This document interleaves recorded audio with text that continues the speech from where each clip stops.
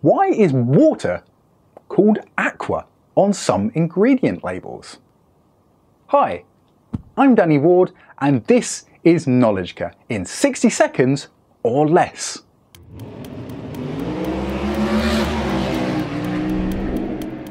Ever looked on the back of a tube of toothpaste, the side of a body lotion bottle, or the bottom of some shower gel? Well, if you got bored while showering, you might have read through the ingredients list only to be constantly greeted with aqua. What on earth is that? You mean water? Who calls it aqua? Well, that is all down to the International Nomenclature of Cosmetic Ingredients, or the INCI system that many body care products around the world utilise. This system foregoes using systematic chemical names or common household names, and instead, strangely, uses Latin. The Latin word for water happens to be aqua.